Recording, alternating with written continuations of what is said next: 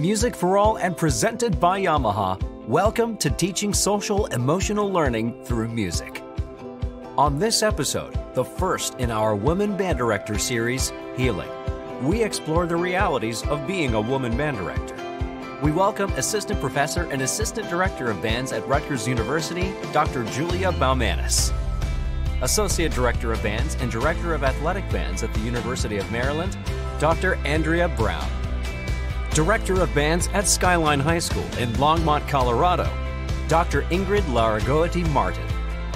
And Associate Director of Bands at Gulfport High School in Gulfport, Mississippi, and the Middle School Band Coordinator for the Gulfport School District, Professor Dee Dee Pitts. And now, our host of Teaching Social Emotional Learning Through Music, Dr. Scott Edgar, and series co host, Dr. Julia Baumanis. Welcome to our next episode of Teaching Social and Emotional Learning Through Music. In this series, we've decided to take it in a slightly different direction. We realize that there are some stories that need to be told that 60 minutes just isn't enough. And this is going to be our first sub series.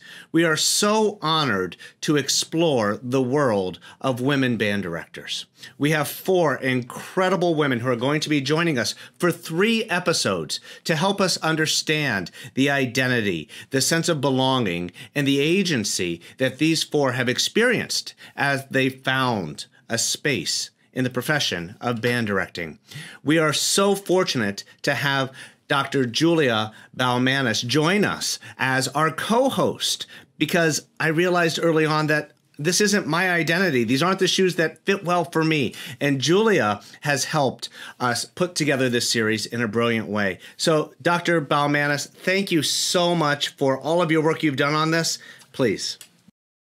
Thank you, Scott. Um, I just want to mention I met Scott not too long ago before we started the series and we started working on the series. We met at Midwest Band and Orchestra Clinic, like you you do with many of these people in our world, uh, through a very good friend, mutual friend Cameron Jenkins, who has this way of bringing together people and projects and ideas um, to lift forklift everybody up to to uh, steal his term. Uh, and Scott, thank you for having us today to um, allow us to share our stories and to facilitate that on such a wonderful platform as Music for All is. Um, and I'm excited about this series. Uh, it started as one episode, and like you said, it needed to be more than just that. So, uh, using the acronym HER, H E R, what you're going to hear in this series is three episodes, um, each surrounding one of the letters of that acronym. And the first one being healing and self identity. Um, we're going to tell our stories. Um, the second episode will be evolution, talk about how we personally went through some breakthroughs and barriers that uh, were put up against us individually and how we can translate that to anyone else in the field and what we do. And our final episode to be revolution, um, changing what we do and, and really making music for all so that we're no longer the firsts in our field and we're no longer the, the minorities in our field. So happy to be here and, and thanks for having us. Julia, thank you so much.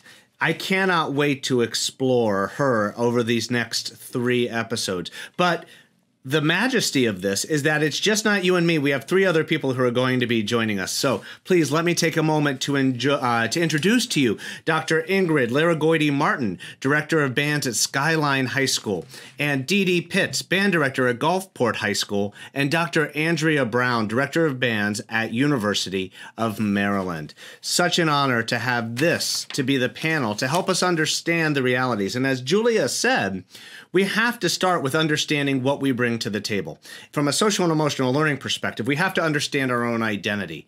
So we're going to be setting the stage today. We're going to be understanding the reality of the journey, the reality of who we are, so that as we start to explore both evolution and revolution, we understand how our context, our diversity, our spaces that we've brought to the table inform that perspective.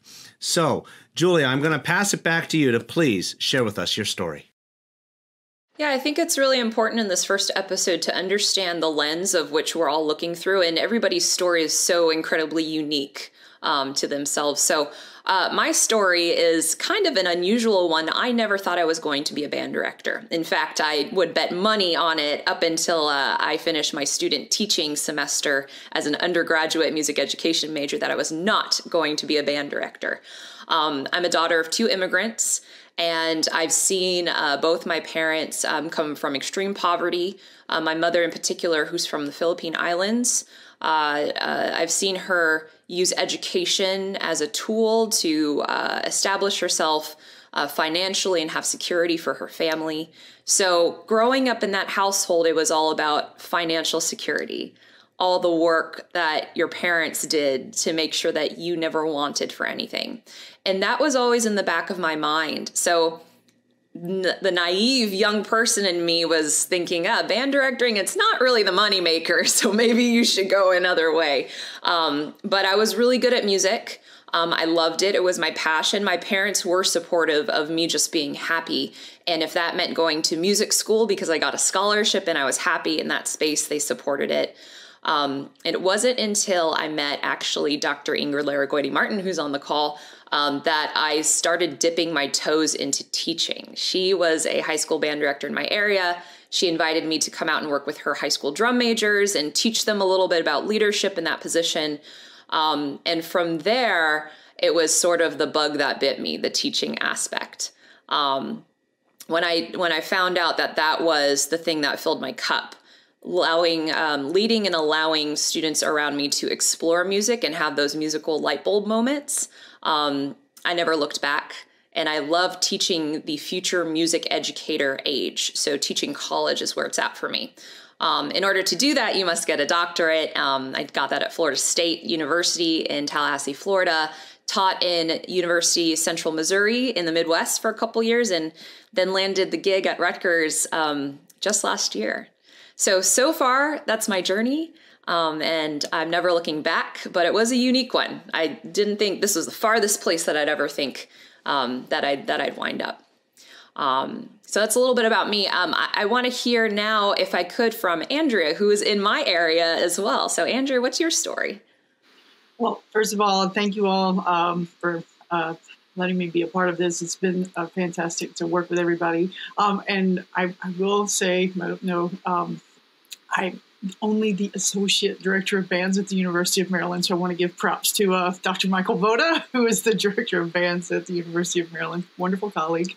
And um, but uh, I love hearing everyone's stories. I am uh, from a very small town in uh, what I say is the middle of nowhere between Memphis and Nashville, Tennessee.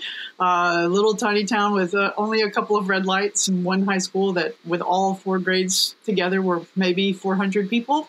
Um, and so that's, uh, I, uh, parents definitely did wanted their best for uh, my sister and myself, uh, but uh, they need, no one in my family had been to college before, um, and so uh, I uh, didn't really have kind of a clear path of kind of how that was to happen, or you know. But they were really also very supportive of really anything that we dreamt, of, you know, that we wanted to do. Um, unlike Julia, I, I got the bug uh, in eighth grade. I knew, um, I didn't know exactly what it was going to look like, but I knew in eighth grade that I wanted to do some kind of music uh, or music teaching. You know, at that time, I, I, I would say I, I thought I wanted to be a band director. That would change a bit as I kind of went through my path, but um, and that had to do with the fact that the uh, high school band was so small that I got invited to march with the high school band in eighth grade uh, because they needed horn players, and so uh, so that was uh, that that was kind of the the hook uh, in my uh, experience at the time. Um, I my high school or just the band program in general in my town was very small. Um, it was really supported by my by my band director though was. Um, uh, really supported and encouraged me to uh, continue to grow and um, uh, and kind of experience new things. Um, I just lived for uh, honor band season and getting to play with a big band and with like so many other horns and getting to experience guest conductors and those kind of things. And so I think all of that really kind of solidified that for me. Um, as uh, kind of talking a bit about that, uh, marching band was my my kind of weigh in for the, the addiction, I guess, if you will, or uh, kind of knowing what I wanted to do. Um, I uh, definitely uh, also was very much attracted to uh, wanting to march drum corps, and so uh, that was a, a, part of my uh, journey for the couple of years, my first couple of years of college. Um, and I also, uh, as a horn player, realized that playing another instrument during the summer wasn't always the best for that growth, and so I also took a couple of summers in Smith at Brevard Music Center, kind of being in a total opposite end of the spectrum there. And with all of these experiences, just really trying to kind of grow uh, not realizing it at the time, but it's been so much of a help of just uh, networking in my in my in the in the support system that I continue to have just from even those experiences, you know, so long ago. Um, as I uh, went through those experiences, I thought for a, lot, a, a while that I wanted to uh, be a professional horn player or um, be a horn professor. Uh, and so I decided to go into graduate school at first um, as a getting a master's in horn performance. Uh, but I realized during that experience and, and through the assistantship that I had, um, which was at the University of North Carolina at Greensboro, my assistantship was actually working in the office and really kind of having a, a, a, a wonderful relationship with Dr. John Locke, who was the director of bands at the time and my experiences with him kind of really kind of brought back into a focus for me that what I really liked the most was uh, in teaching and conducting and working with students in an ensemble environment. And so then that kind of redirected my path into that world. Um, he actually was kind enough and trusted me enough that my very first ensemble that I can claim was mine was the uh, third ensemble at UNCG, and so I do believe that's probably how I got my connection and knew that I was my world was more in the collegiate uh, sphere. Um, I did teach uh, public school for a couple of years, one year middle school, one year high school. Was my intention to do that longer, but um, was able to, uh, was um, able to um, secure a position teaching um, at my undergrad alma mater.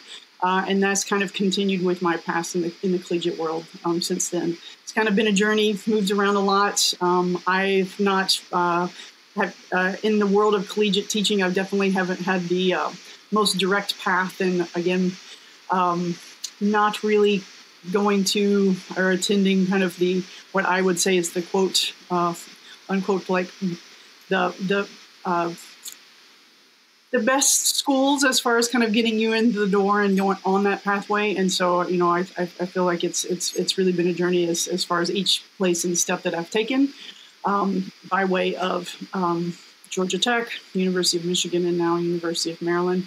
Um, kind of on the side of that the whole time since 2000, uh, on and off until about uh, 2017. I've been involved with teaching uh, in, the, in, with uh, Drum Corps International, various, various organizations, and so. Um, again, kind of all of those, uh, the folks that I've met along the way, uh, and again, that's has really been kind of how I feel like I've, I've made it to this. And so um, it's talking about it in that way is like, wow, I've been doing this a really long time. But um, I'm grateful to uh, to be in this place, and um, you know, don't really uh, know that this is really the, the last stop. I think that there's probably a few more in the in the way that our business works, but uh, really glad to be where I am at this moment. Thank you, Andrea. Um, if we could go next to uh, Dee Dee Pitts. Well, firstly, thank you all so much for this this auspicious uh, opportunity to be here among these wonderful uh, educators. I came to music um, in a roundabout kind of way, not knowing that this is where I would be. If you had asked my 18 year old self uh, if this is where you thought you would be, um, I would have definitely said no. This is this was not my path. This was not my journey. Um, I am a proud uh, proud product of of a single parent home uh, parents who my mom really fought hard to afford us, uh, my brother and I, every opportunity available. Um, music became the thing for me that that that saw me through some rough times as my parents got divorced and some things you know just happening in young adulthood that you just don't you not you don't ever foresee coming. Uh, and music was that thing for me that got me through the day. Uh, becoming a part of the band uh, my mom was a church musician. Uh, so I grew up in the church uh, singing in the choir and and just doing all those types of things. But but the the organization of band got me through some of the roughest times of my life because of the family that was built within those walls. Um, I would when I went to when I went to school every day, it was just a joy for me to get out my instrument and to just play and to know that everything that was happening at that moment was not just about me; it was part of something so much bigger. Um, when I went to school, when I went to college, I was not a music major. I went to college as a pre med, biology pre med major. I had dreams of being uh, dreams of being a pediatrician. I wanted to help people. I wanted to I wanted to be the person who was able to show some light uh, in in a, in a dark place. But what I found was I found myself in a practice room more often than I found myself in a lab. I was uh, in an ensemble. Uh, I was in four or five ensembles and taking lessons and taking piano on the side and doing all these things. And and I, I asked myself a question. I said, well, if this is where you're spending most of your time then why not make this something that you know that that becomes a bigger part of your life? Um, but i just couldn't see myself doing it. I didn't see myself in in the grand scope of things. I didn't see myself. I didn't see me uh, as an individual. I never saw you know a person that looked like me on the podium. I was like i just don't know I don't know if I can do this. I don't know if this is for me. Uh, but of course, God had different plans, and here I am.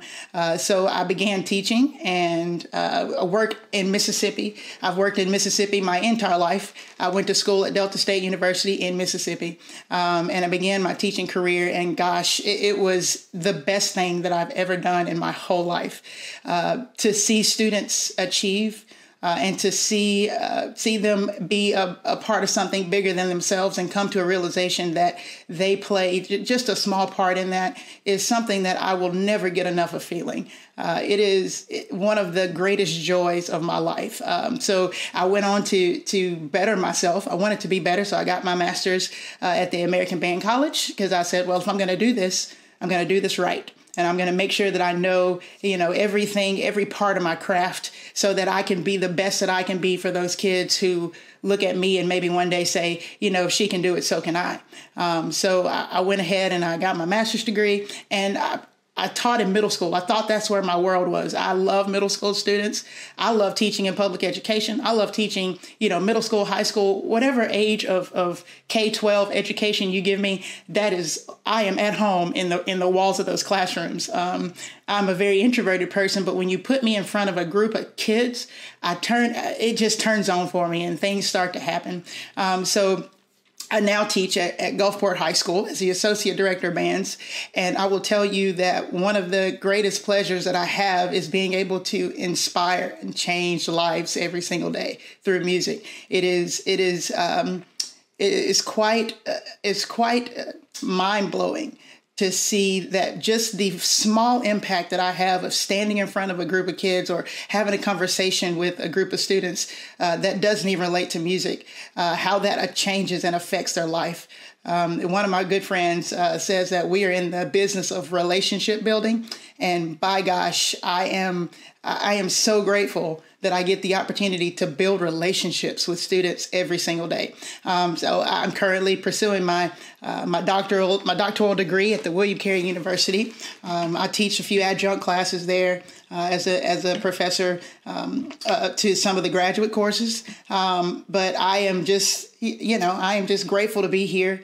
Um, and I know that wherever I end up, that I will always have a student-centered focus, uh, student-centered focus world. That is, I'm looking to see the best that can be in every single kid, no matter where they come from, no matter how they look, no matter what they think of themselves. Uh, I want to see in them what somebody saw in me. Um, and thank God for a, a supervising teacher who looked like me, who told me that one day, you know what, you can do this, you have it um, just go for it. So that's that's me in a nutshell. That's kind of how I got to where I am, and uh, I'm grateful to be here. You know, Dee Dee, you said that you started out as wanting to be a pediatrician because you really wanted to, you know, change and help individuals. Um, you're doing exactly that. uh, it's just music is now the venue. I think that's amazing. Um, thank you for everything that you do. Um, and last but certainly not least, Dr. Ingrid Larragoity Martin, what is your story? Hello, thanks so much for uh, having me part of this panel. It's been great getting to know each other, and it's interesting for as many times as we've met. I didn't know any of these stories, so it's uh, we have a lot more in common than we we probably thought before. Um, Dee I went to college uh, thinking I was going to be a pediatric neurologist, and I was a biology pre med major for my first three years and worked at a VA or volunteered at a VA hospital emergency room and worked at a medical research center during my time there. And I played clarinet for fun. but um, I'm also a daughter of immigrant parents and uh, had two older siblings who paved the way for me to make it easier to learn English and all those kind of things. So it was a little bit easier road for myself. I grew up in Jersey and uh, then we moved to Florida. And I, you know, started playing clarinet because my cousin had a clarinet. You know that story. So that's what I did, and um, played piano too for a few years. And it was never my main thing. Like I was a science nerd, and I loved it, and I still do. Um, and went to high school, had a great director, and got into color guard a little bit. Got into all the little things. You know, and honor bandness. And um, my senior year in high school, I went to one of those college honor bands, and Mallory Thompson was at University of South South Florida, and that was the first time I saw a female in that role. Um, and I, I know for sure I never sat there and was like, oh, that's a female. You know, I never associated with me, but it made an impact and she was fabulous and she is fabulous. And so it was the best ensemble I had ever been in. And I thought that was amazing. And I made my college choice to go to USF because she was there, but only secretly. I don't think I knew that. I think I just did it. And, you know, I was biology major and I minored in music while I was at USF and um, enjoyed my time going into the music department. And I, I, I, I had a good community at the, at the biology pre-med labs and stuff, but I had a stronger community that I was accustomed to with the music world. And I think it kind of started sucking me in. And, um, I started subbing for the Florida Orchestra. And I think my junior year, Mallory Thompson's like, hey, let's go to lunch. And, you know, I had just joined SAI and she was a sister. And we went to lunch and she's like, what are you doing? I'm like, oh, you know, told her my major. She's like, no, what are you doing? Because then I needed somebody to show me what amount of time I was spending doing the music thing. I was teching at a couple of high schools. I was working at the Florida Orchestra. I was I finished my minor in music, and then I'd go and do the science classes. and she's like, I mean, there's nothing wrong with that, but is that what you want to do? And it started kind of pushing me towards being a director, a band director. And I changed my major that summer and um, graduated and did the whole band directing thing. And I loved it, loved it, loved it. Taught in South Florida, where I met Julia as a student. and uh, I taught there for five years. Then I decided that I needed to elevate my conducting and went back to get my master's in conducting. While I was there, I was also interested in more music ed, and I got a master's in music ed at the same time. And then I went back to teaching high school and had the privilege of opening up a brand new high school, which was a different experience altogether. And that was really cool and neat and loved it. And towards my last few years at that school that I opened, I started going to conducting symposiums and fell in love with conducting. And never in my mind did I think I was going to teach college because I loved my high school program and opening a school really was a different kind of community that I hadn't experienced before. And teaching in South Florida I had a really diverse group of kids, and that was really cool. Um, but uh, Allan McMurray asked me some questions. I always needed somebody to ask me questions. um, and then I decided to audition and I made it and I went. And it was kind of like I, I tripped over that. That was not kind of in my cards for me personally. And, and then I went to University of Colorado and worked on my DMA. And then when I was leaving, I was planning on going back to high school. And he's like, Well, you have to try college for a little bit. So then I did college for five years and I loved it. I, I, was able to do the associate director band jobs and I was able to be an interim director of band for one year. And then um, I went back to doing high school. So that's kind of my career in a nutshell. But the, the interesting part of my whole journey, just listening to you all speak and share, is that um, I, never I was never self driven oddly enough. I just kind of always needed somebody to say, look at what you're doing. And I think that's an interesting perspective for a female minority just not asking questions and not knowing that, that you're supposed to and that i'm supposed to be in this world and that it's okay and if i want to be i can be because i never i never thought it was easier for me to think of myself as a pediatric neurologist than it was to think of myself as a conductor. And even saying the word conductor, I hesitate, you know, because I, you know, haven't done all the things and whatever. I don't know what it is that qualifies you to be a conductor still to this day. But um, it, it's been really a wonderful career. And now at this point, at least in the last four or five years of my life, I've done a lot of sitting on committees for DEI and um, diversity, equity, inclusion, and trying to make a bigger impact. So the school that I work in currently is one of the Title One schools, uh, lower income demographic is diverse, and just trying to build a program there and seeing what the needs of the kids are, and it has opened a lot of different mental pathways for me and in in that the program doesn't always have to look like what you experience and it doesn't have to be the world's most amazing high school band and it has to be a place for these students to belong and to create music and it, and it's changed a lot of my philosophy i think. I still love conducting and i would love to get in front of a phenomenal ensemble um, whenever i can but it also means a lot to me to be part of the journey for these kids and their first time going to see the symphony and the first time seeing Wynton Marsalis and the Lincoln Center Jazz Orchestra, and just giving them these experiences and knowing that when we come back to class, it can be part of their culture. And a lot of my students are Mexican, and a high population of Mexican, uh, Latino, Latinx population, and trying to create a curriculum that reflects who they are and where they came from and what their life journey is. And seeing that there's such a big need for our profession to develop curriculum that allows for those kind of things to happen. And so that's where kind of I'm sitting uh, with all the music ed and conducting, and I don't know where my career is going next, but I sit on a lot of committees to diversify and write curriculum and try to wake up what we're doing in our profession to meet the needs of our students.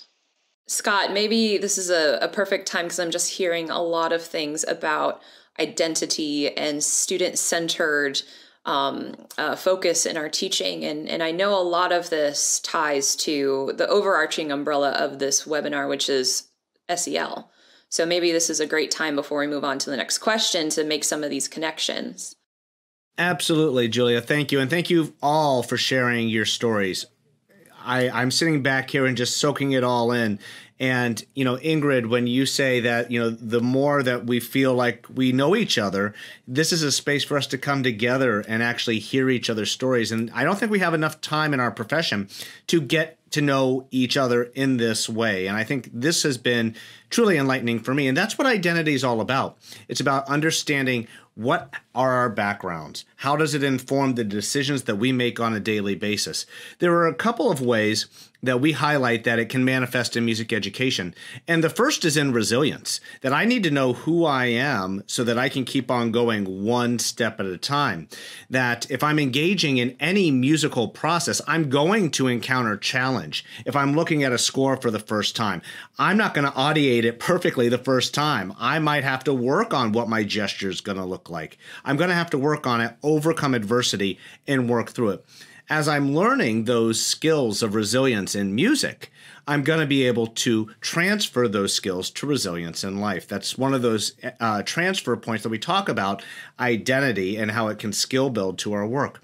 The other space when we really talk about identity is for us to really understand that music is a mirror of what we bring to the table. It highlights our strengths, it highlights our needs, it's unapologetic. I can't hide from music. And from these ways, we're always looking at the intersection between music and SEL. So, what is my self awareness? Do I understand who I am?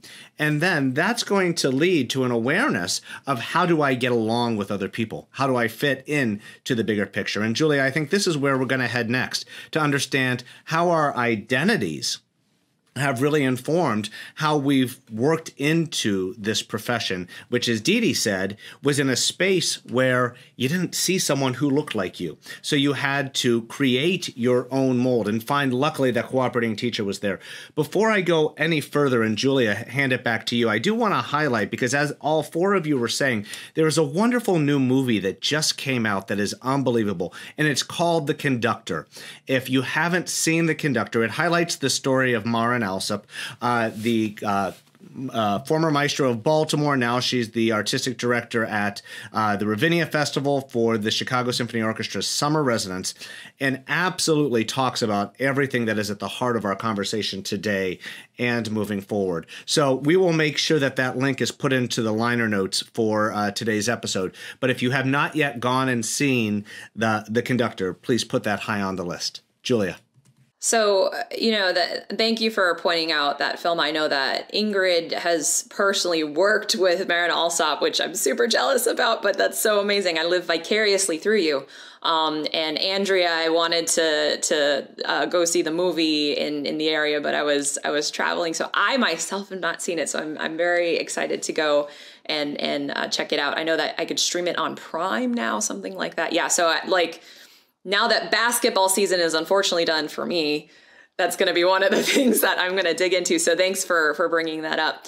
Um, you know, our, our question, I think this transfers beautifully. Our, our next question is How has our identities as women band directors um, impacted our work? Um, and and if I could just speak a little bit eh, as maybe sort of a jumping off point, what I'm hearing in all of our stories is that it didn't perhaps impact us right away, but it certainly has. Um, and it's something that I mean, look at today. We're we're here talking about it right on on this platform together. So um, I, I, think that's a common thread uh, in all of our stories. Um, if we could, Ingrid, um, do you want to talk a little bit about how this has impacted your work?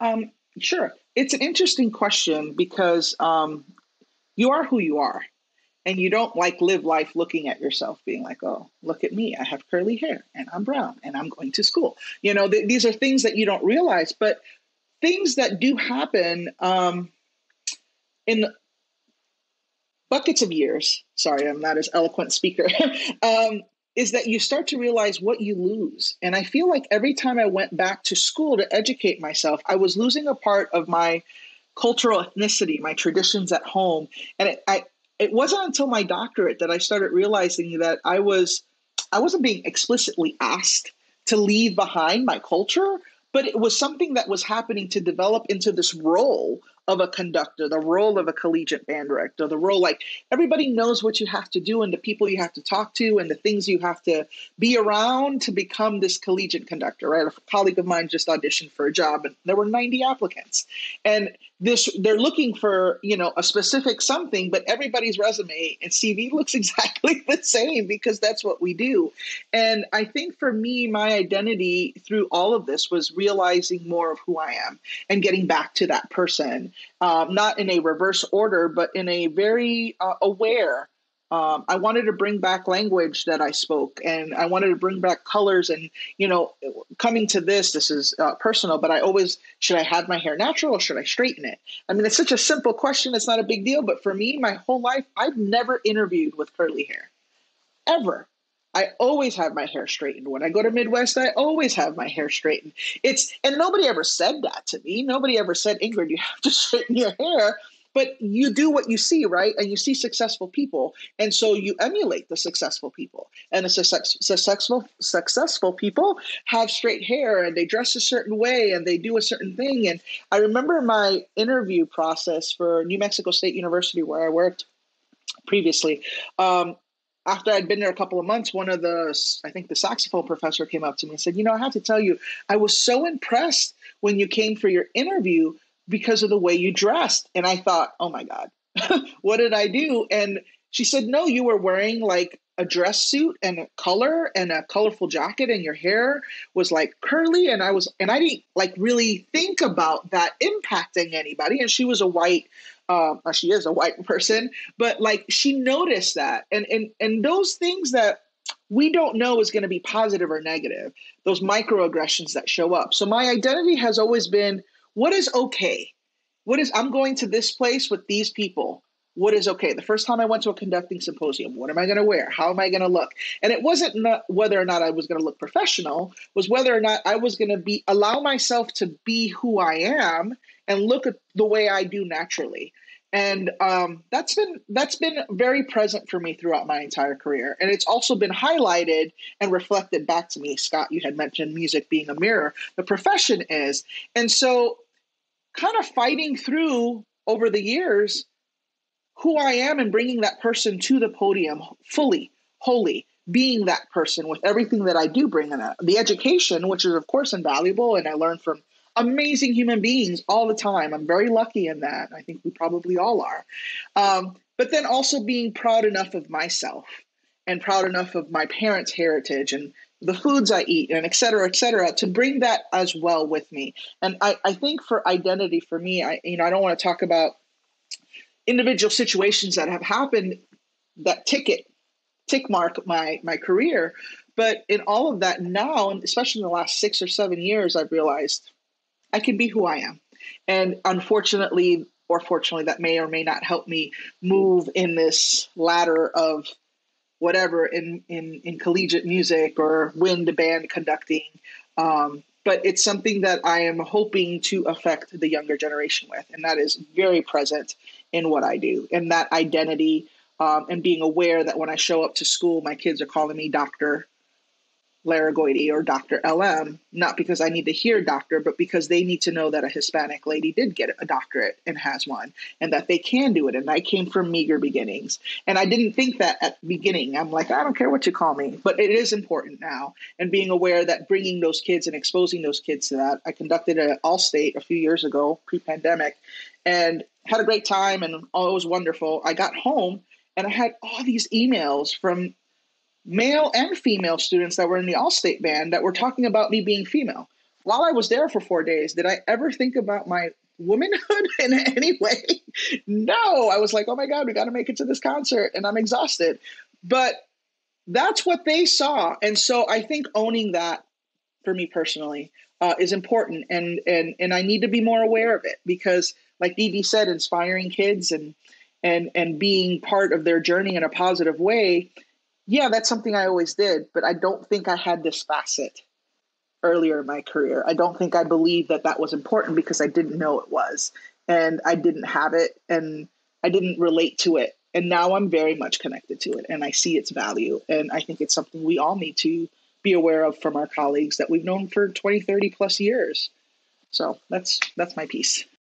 Yeah, I, I we're talking about this stuff now. I mean, Exhibit A, we're on a, a webinar that's going to, you know, be talking. But we, I feel like, have sort of been tiptoeing around these sort of conversations for a long time. And I, I appreciate that now there are full blown conversations and collaborations surrounding this because that's step one, right? Is is to tell the story and then to say, no, this really happened and this is how it's impacted my journey.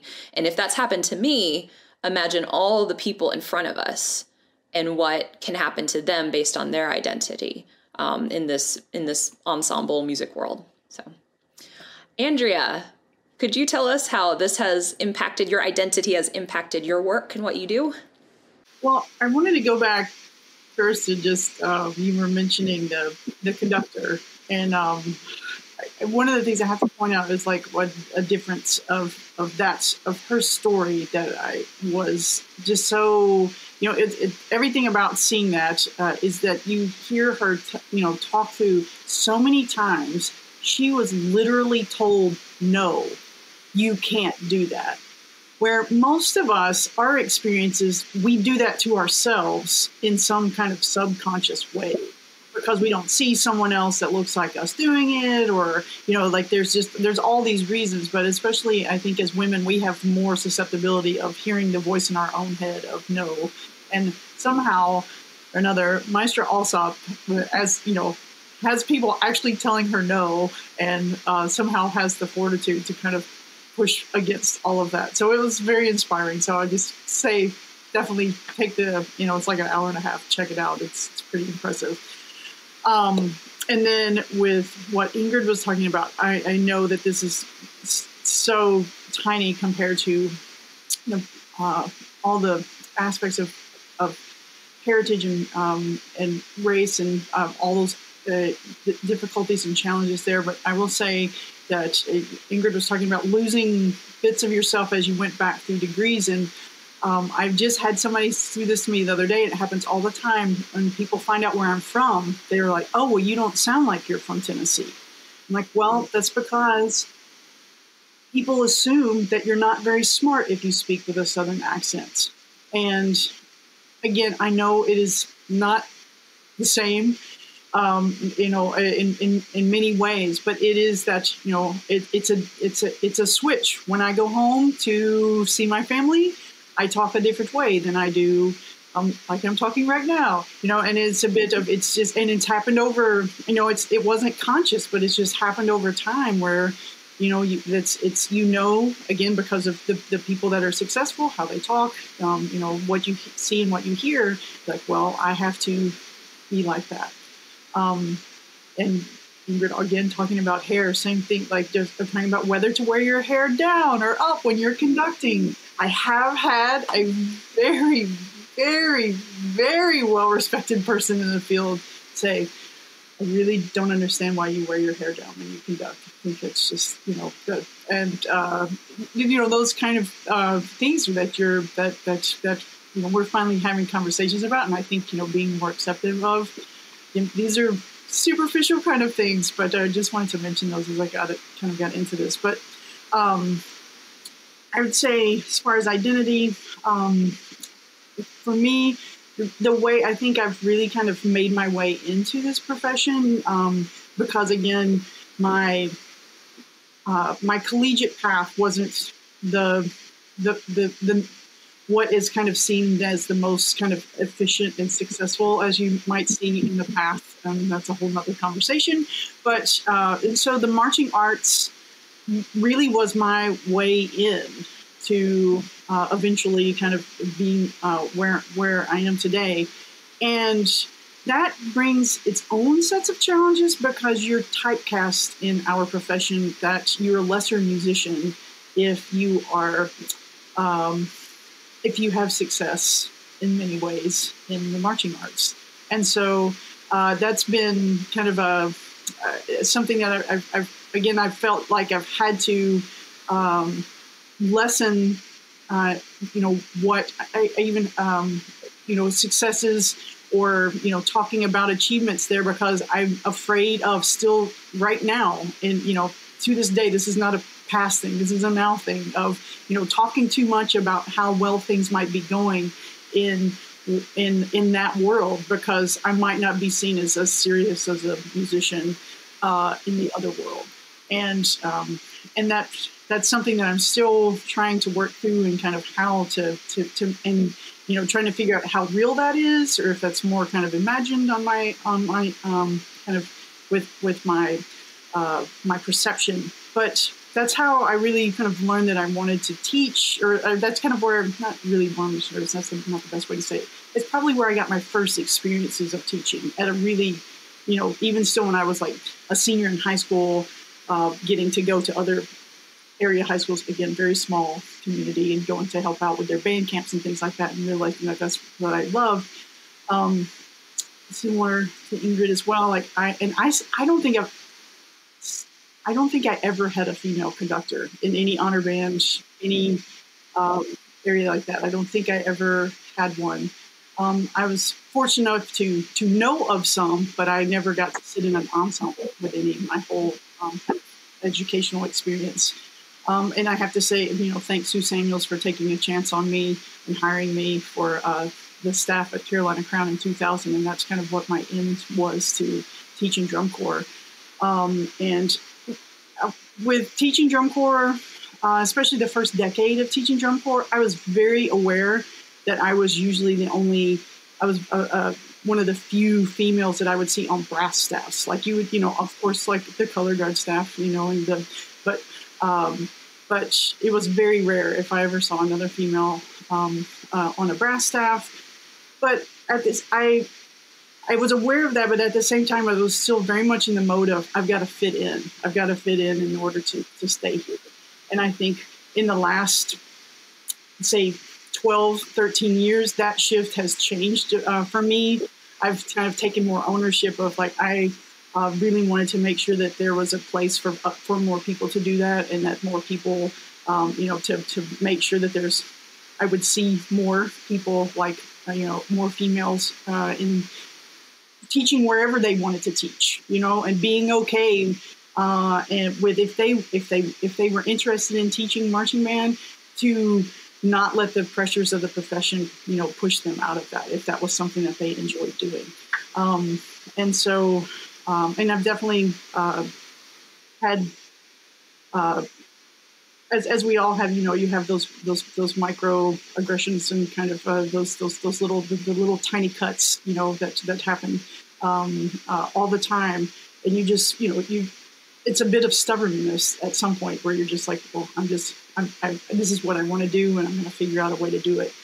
Um, and, uh, but this, I, I, had kind of a revelation for, for myself, um, probably around 2015 or so, when I had, you know, something kind of personal happen to me, and then I was like, I, that was really what led to. Though it took a few years to come to fruition, but the the uh, creation of Women Rising to the Podium because I was really looking for a way for, I, I was just, um, between the experience that I had and just the realization that that's, I just felt like so much we're competing for, with each other or feel like we have to compete with each other for this like one little slice of the pie and just and because we didn't and that led to folks not really knowing each other very well right and when you're the other then you're more inclined to to have that uh, tendency to compete with or um, feel that need to to do that. And so um, that was kind of what led to the creation of that group. And um, and for me, that's uh, it's been um, really inspiring just to kind of see folks sharing um, their um, and celebrating and be and connecting. And I feel like it's it's made our our world as women band directors just a, a little a little bit more connected was a very rambling journey, but that's kind of where uh, that that question brings up so many so many thoughts. But but it's all like all of us are like yes, like absolutely. You know, the the competitiveness, the perceived competitiveness between females. I mean, they have like a freaking name for it in movies. It's called a cat fight. Whereas if there's just like a fight between other characters that aren't two women, it's just a fight. Why are we catty? You know what I mean? It's so I appreciate the work that you do with that group. Um, it's personally, it's it's a place that I've learned to congratulate myself for doing good things. Because so often I feel like we're taught to be, all right, you know, don't be too much of a look at me and, and be humble, you know, but like go you secretly whisper, I did it, you know, and have like a birthday cake that's this big because you don't want to make too much of a ruckus, right? And, and why? and I, I feel, you know, Andrea, what you were saying about a lot of this, I feel like perhaps this is stuff that I don't know where we learned it uh, or if it was taught or if it's passed down or if there's something, but it's a lot of internal okay, I, I, need to be careful. I need to do this. And like Ingrid was saying, nobody told her to straighten her hair, but that's just how we picked it up. You know, I'm sitting here looking at my hair because I straightened it this morning and I have curly hair too. So, you know, it, it's, you know, you said you, that you rambled, but it, I don't think it was rambling. I think there are so many truths in what you said. Um, Dee Dee, can you tell us how your identity has impacted your work? Uh, I'll start by saying this. I, I, identify with a lot of things that have already been said, um, but I will say that we are a product of our environment. And it's important uh, that we understand that we have the ability to change our environment. Um, I, I born and raised in Mississippi.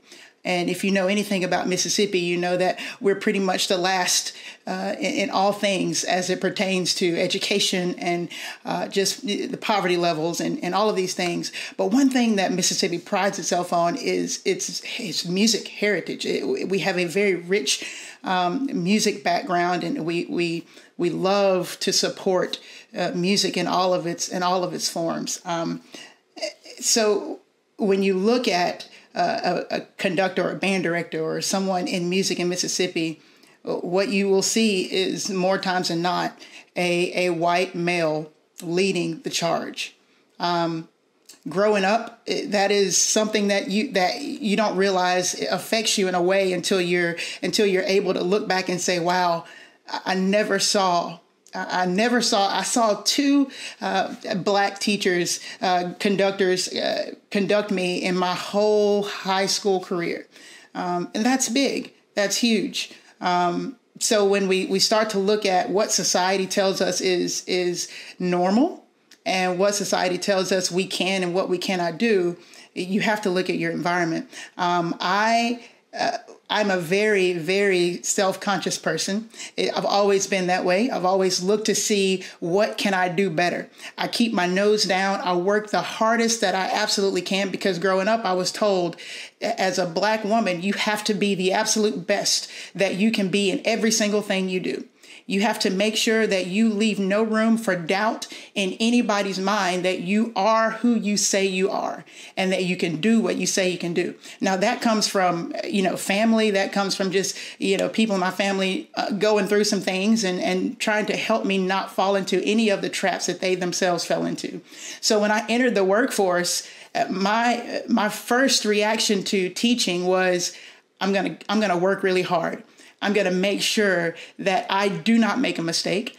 And if I do make a mistake, I'm going to own it really quickly so that nobody has any any room to say that I am not uh, an upstanding type of person, that I am not a respectable type of person, that you know you can't trust her because she she does X, Y, and Z. Um, when I look back at how hard I worked over the past 16 years in Mississippi as a director, not for any other reason in my mind other than to say, I want to be the absolute best I can be. Now, the byproduct of that is students who are being the best they can be, and and you know a band program that is the absolute best it can be. But when you nail it down, when you drill it all the way down to its bedrock, you find an insecurity that is put there because of uh, societal norms and and uh, overcoming these overcome overcoming some of these societal norms is sometimes hard you know because as a as a black female uh, band director in Mississippi, the first thing that that you that you might would hear is no, you're you're aggressive, or you know you you you have a presence on the podium that is that is scary, or you know people are scared. You know people are scared, uh, and that's just you know it's definitely not true because I'm probably one of the nicest people that you will hopefully meet on a, on a conductor's uh, podium. I'm I'm just I'm super excited all the time and those types of things. But those are the things that you hear. Uh, um, you know, outside of those folks who are your, you know, your friends, and they and they're telling you, hey, I just want you to know, you know, this is what so this is what so and so is saying. Um, but my direction and my my journey to uh, being where I am and, and doing what I do, um, it's been it's been one where I have really had to learn. Uh, and I think someone mentioned this earlier. I learned at an early age to code switch. Um, and the term code switch is just very simple. It's, it's, you you are one way in one situation and you are one way in another situation. I learned early on to make other people feel comfortable around me and not being and me not being who I am or who my true self is because I wanted to make sure that I didn't offend or that I didn't come across in a way that would that would lessen my chance of being effective in the classroom.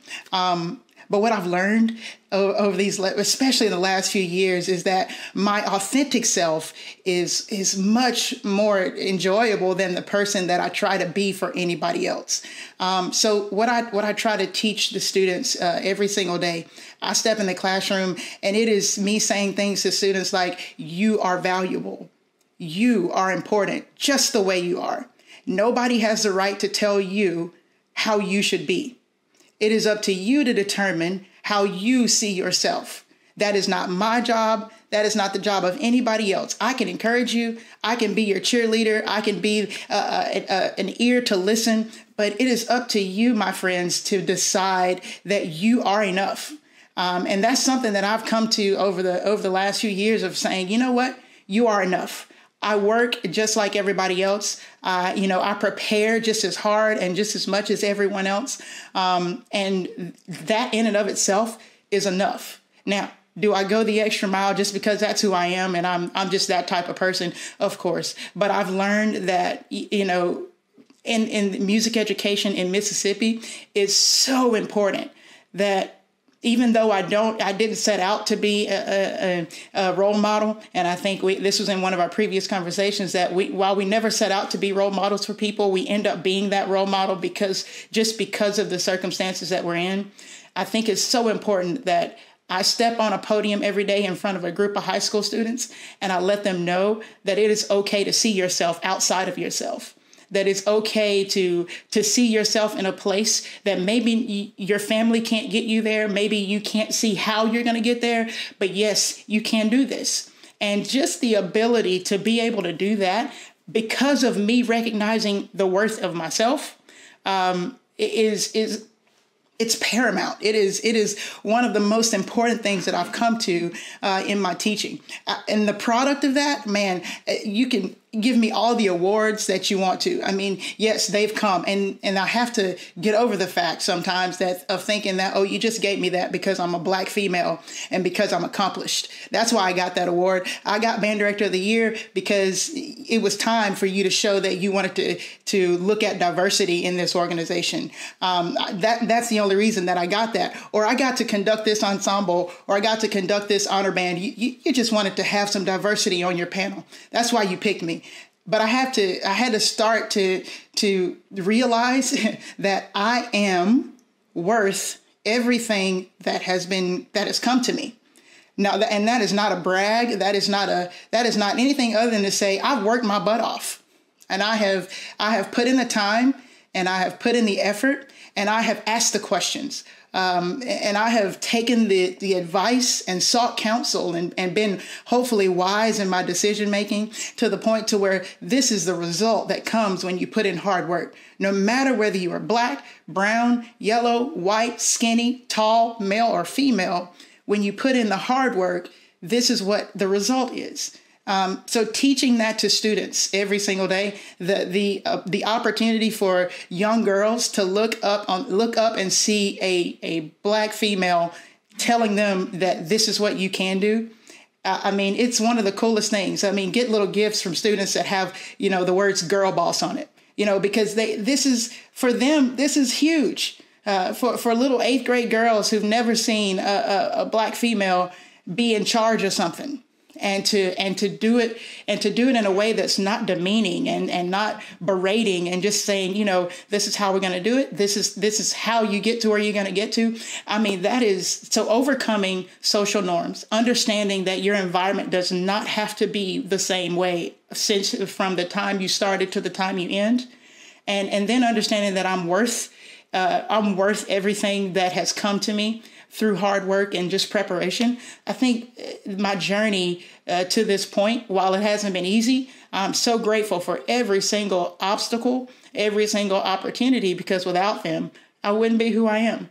So that's that's it. Dee, I wrote notes. I felt like I went to like a lecture that I wanted to just take notes, and I wrote so many similar experiences. Um, and I appreciate the fact that you said we are we are a product of our environment, but we have the ability to see ourselves outside of ourselves. Um, I, you know, I looked at my background, and one of the things that I always take pride in, and I still do to this day, is that both my parents are immigrants, and both my parents, once they immigrated to this country, joined the U.S. Army. So much of how I was brought up, the discipline, and it wasn't like a, a um, very aggressive, wasn't allowed to do anything. Um, my, my parents were incredibly supportive, but the discipline, the the the phrase "soldier up" was said a lot. When we needed to go somewhere and be on time, the phrase was "move out," um, get in the minivan and move out.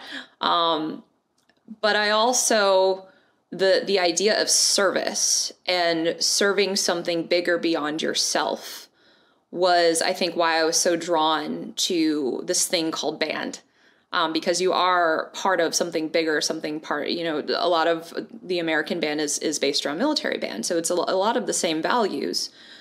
On the other side of that, I found myself still to this day. I have to fight doing things to serve others, to serve others' level of comfort, to serve others' needs when it's not aligned with the culture or the the direction that I'm looking at, um, to not upset the waters so that I serve everybody else's comfort level. So molding, and this is a lot about what Andrea was saying, fitting into the the group that you're a part of. How do you dress when you go to that athletic band symposium? Or when you go to that job interview for the first time and you get to hang out with the band directors afterwards, what are you going to say? How do you introduce yourself? Do you say doctor or do you not? Is it a first name? Is it a last name? How is that going to be perceived? And a lot of it is perception serving. Um, and I do a lot of code switching because of this. Um, my mother is Filipino, so an Asian culture, and my father is Latvian. So both of these cultures, um, which are almost opposite of each other. Uh, my dad was six four, blonde hair, blue eyes, and my mom is five something, dark hair, straight, like, and I'm somewhere in between, just mashed together, and here I am. Um, but both of those cultures are humble cultures. Um, you say thank you a lot, you apologize a lot, you're quiet. And I don't know if I just didn't get the message, but I was the opposite. From when I was younger, I was the opposite. I was called wild child by my family. I was called the loudmouth. Nobody wanted to babysit me because there was this thing that I would do, which was just like yell at the top of my lungs. And I thought it was hilarious. Um, I was really infatuated with loud sounds from a very young age. And as I went through grad school, as I went through teaching, as I tried to fit into the environment that I was a part of, I started to diminish a lot of those behaviors. And I started to think about the way in which I say words. And I started to think about the way in which um, I change my language. And I started to to dress a certain way. And you want to talk about how this could be a whole seminar on itself how you dress on the podium, how you don't dress on the podium. One of my first experiences that made an incredible impact on my line of research that I've done um, was a leader in um, our district for high school band where I taught after MPA, music performance assessment, where you go and you perform with your ensemble in front of adjudicators and they give you some feedback and comments and an overall score. At a meeting, asked everyone in the room, men and women, and of course the, the men were were much more the majority than the women, um, to write down what they thought women should wear on the podium. And I am a new teacher. I'm first of all very excited that there's a woman leader in front of me.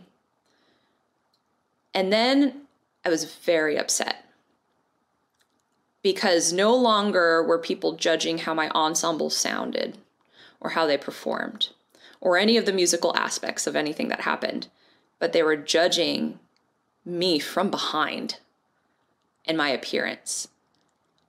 And from that minute on, I said, you know what? We got to stop this. This is ridiculous. We have to stop this. So, my first research project when I got to grad school was Does what women wear on the podium impact what you hear? And of course, the answer is no. And of course, I have data to back it up.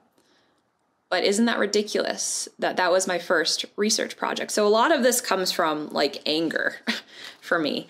And I'm incredibly thankful now that I, I know people like you all on this call um, and that I had Ingrid um, when I was younger. I've never had a female conductor in any ensemble. Uh, Ingrid, I've never played under your baton before, but you'd be the closest thing to it but still getting to grad school, getting through grad school, I had fantastic mentors that told me that I was just good and here's how you get better. And none of it was tied to what I'm born as or what I am per like visually, biologically, none of it was was tied to that. Um, and so I feel like I'm very fortunate in in that case because I've never seen somebody like me other than Ingrid on the podium. Um, but I never felt like that was why I couldn't be what I wanted to be. Um, and I think a lot of that has to do with who my mother is. My mother teaches international business and management, and she's a five foot something Filipino woman who runs like CEO company. She consults them, and there aren't small Filipino women running that world. Um, and she did it at a time where conversations like this were not happening. And I remember people calling the home phone line and and saying, "Oh, is Dr. Baumanis there?" And she'd pick up, and she's Dr. Baumanis. She's like, "Speaking." No, no, ma'am, is your husband home? It's like, oh no, no, no, no, no, sir, you are you are very mistaken. So I, I've seen her go through these microaggressions, and I've always been observing. Um, and I think that prepared me for when I got to the later years of my grad school my early couple first years of college teaching these microaggressions, these little cuts, as Andrea puts it. Um, I've been told, Julia, you're really successful because you run your shop like a man.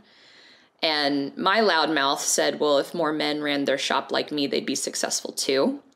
Um, as sort of like a joking, you know, one off, I don't really want to deal with this right now. And it was said to me by a person who I love very, very much and who I still regard as an incredible mentor to me. Um, and then thinking about it that night after it happened, trying to unpack that. And that's what these microaggressions do. They put not only a little cut, but then you have to deal with the trauma that it might kick off afterwards. So, my job and my goal, because of all of these identity things that have formed me who I am, the the daughter of two very opposite immigrants who joined the army. I was born overseas, thrown into this world, had great mentors, but nobody ever a, a woman mentor. Um, my goal now is to make sure that I never that I never ever ever do something that if I can, never do something that forms trauma to where one of my students has to un- unwind it later on by themselves. Um, and that know my worth, just like Dee Dee was saying, know my worth, know that I'm good at what I do. Know that you have to have grit no matter who you are to get through this profession. And then when you get there, to hold the door open for other people. Um, because without the people who have held the door open for me, I would have gotten there, but it would have been a lot harder. And I've been very fortunate to have people hold the door open. You know, if I can jump in, a couple of things everybody said. I'm trying to remember it all right. Um, but uh, something about owning yourself, Dee, the, the way you spoke was so confident and so beautiful. It's something that I still have a difficult time doing, no matter what my accomplishments are. And that's a space that I hope that the trauma that whatever you know we I, I say little t's and big t's because some things are small the little cuts and some have been very epic in my career um, and in my life like everybody else and I still can't. I still have an issue with um, calling myself a conductor versus a music educator versus a band director versus because like Andrea was discussing, you know, the the marching arts and you know you you live here, you can't conduct here and you can't do this here and and and owning the things that you've accomplished in a really positive and uh, even